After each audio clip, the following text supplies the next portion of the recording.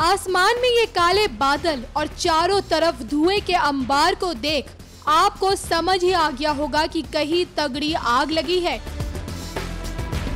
जी हाँ एक बार फिर देश की आर्थिक राजधानी और माया नगरी आग की चपेट में आई है। इस बार ये आग कहीं और नहीं, बल्कि बांद्रा रेलवे स्टेशन के नज़दीक बसी झुग्गियों में लगी है।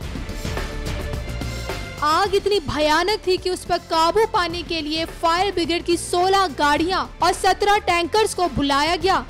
इतना ही नहीं, तीन एंबुलेंस भी मौके पर पहुँची। आग के इस रौद्र रूप को देख बांद्रा अंधेरी लोकल सेवा को फ़िलहाल रोक दिया गया है।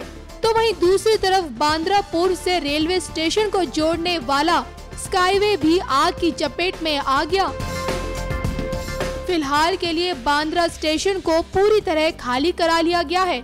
लेकिन झुग्गियों में आग कैसे लगी? इसके पीछे किसी आतंकी संगठन की कोई साजिश तो नहीं ये अभी तक साफ़ नहीं हो पाया है।